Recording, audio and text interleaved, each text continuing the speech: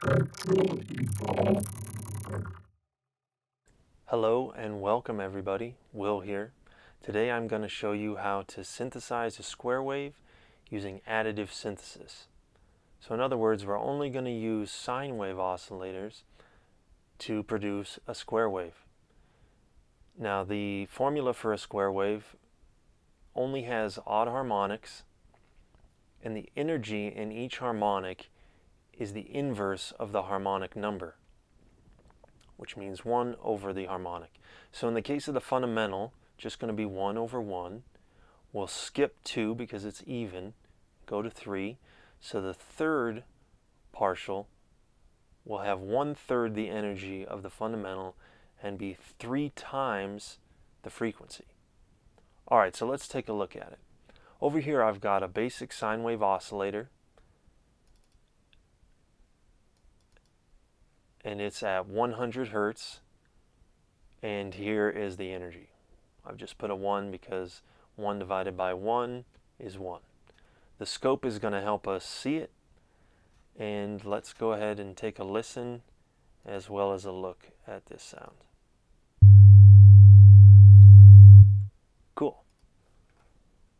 Let's take a look at what happens as we start to build this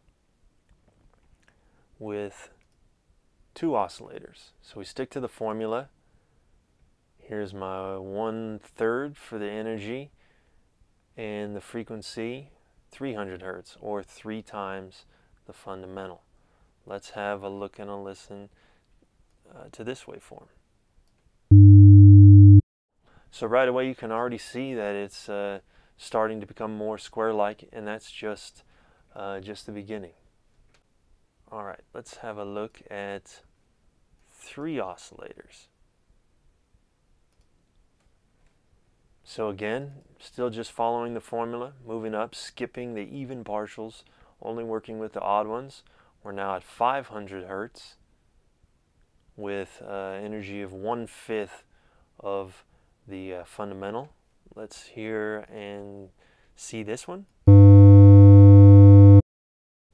Even more square-like. Now I've uh, skipped ahead a little bit Let's, uh, let's see.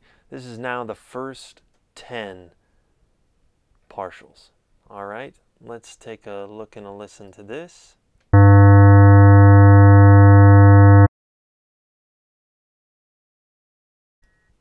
Awesome. So you can see already how square wave like that's becoming and we've only done the first 10 partials. This uh, theoretically goes to infinity. So not bad considering we've only done, uh, done 10 there. So you can see that if we just kept on adding more and more sine wave oscillators following this formula, we would approach uh, the ideal, so to speak, square wave.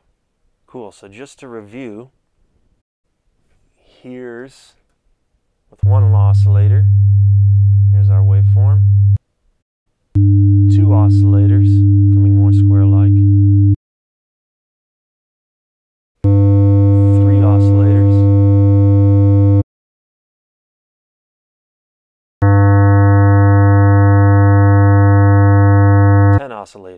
So again, it's just a, a, principle you can extrapolate and you could imagine what would happen if you had a hundred sine wave oscillators or a thousand.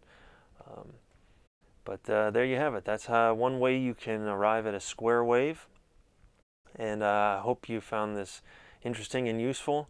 And uh, if not, just uh, go ahead and like and subscribe anyways. And uh, we'll see you in the next video. Thanks.